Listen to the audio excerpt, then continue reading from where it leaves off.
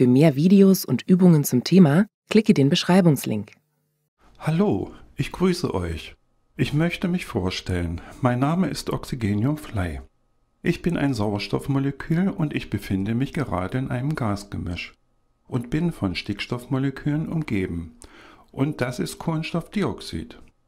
Ihre Kurznamen sind N2 und CO2 und meiner ist O2. Die anderen blauen doppelten Kugeln, alle Zwillinge, genau wie ich, sind sie zweiatomig. Wir alle, alle Teilchen bilden das Gasgemisch Luft. Die Bestandteile der Luft sind in ständiger Bewegung und sie können eigentlich nichts dagegen tun.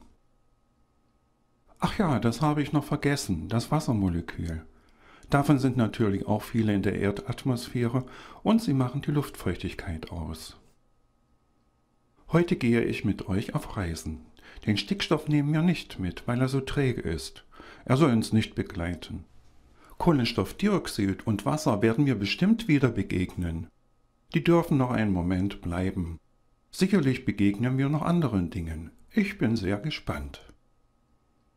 Also, unser Thema ist die Wanderschaft des Sauerstoffs, besser gesagt der Sauerstoffkreislauf.